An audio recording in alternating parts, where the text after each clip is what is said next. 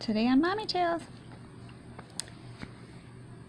If you wanted to see how I was doing, these are my lips. That's my nose. That's my hair. That looks kind of like Elvis Presley or Priscilla.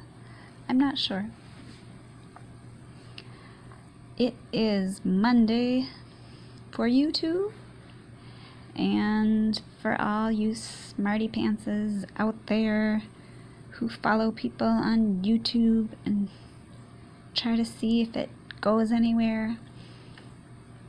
This is what's happening. I see my face and I'm like, whoa, that's my face.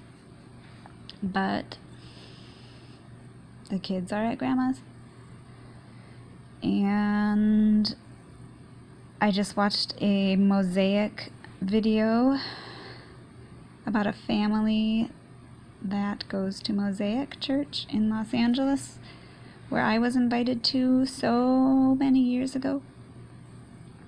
And it's nice to know that there are still families that go to that church that have been going there for a long time.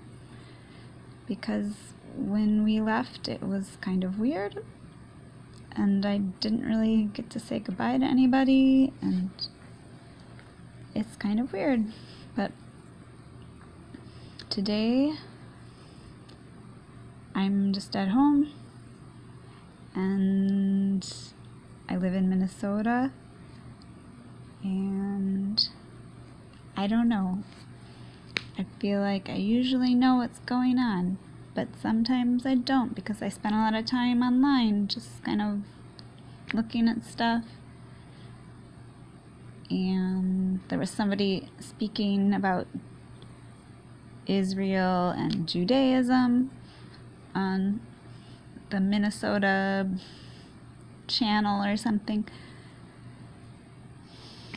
And I don't know it's kind of frustrating because I am trying to think is being Jewish different in Minnesota than it is in Los Angeles or the East Coast? I've only been to the East Coast like once because I was with a school trip. I was on a school trip. So I don't know if my experiences developed as other people who travel more often, but maybe I get more out of my one little trip in high school than other people do who live there. Goodbye.